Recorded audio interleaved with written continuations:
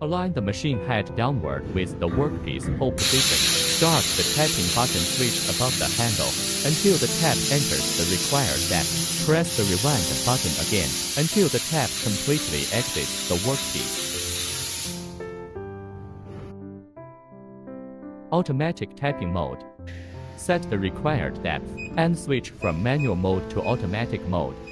Align the machine head downward with the workpiece hold position. Just press the tapping button switch, and the motor will automatically rotate according to the pitch size until the set depth. Automatic rotation can be achieved.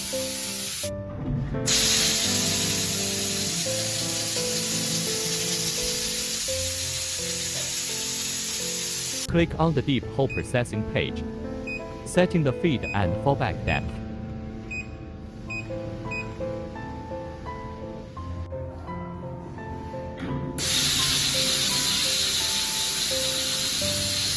Taps of different sizes. Need to select the pitch size again. Set the required depth.